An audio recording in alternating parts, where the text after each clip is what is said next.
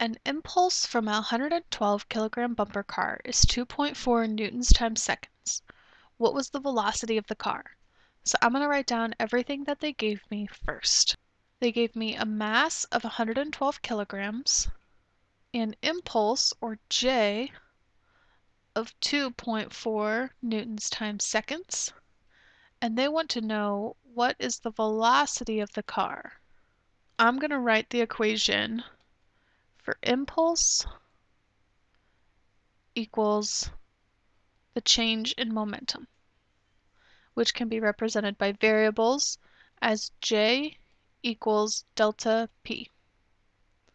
And then after that, I'm going to rewrite it as impulse equals mass times velocity because the change in momentum or delta P equals mass times velocity.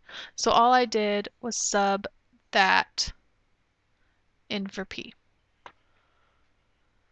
So now I need to get velocity by itself. And in order to do that, I'm going to divide both sides by mass. So that mass cancels over there. And I'll end up with velocity equals impulse over mass. And we just plug in our numbers. 2.4 newtons times seconds divided by 112 kilograms equals 0.021 and that's a velocity so it'll be meters per second. Because this newtons represents a kilogram times a meters per second squared.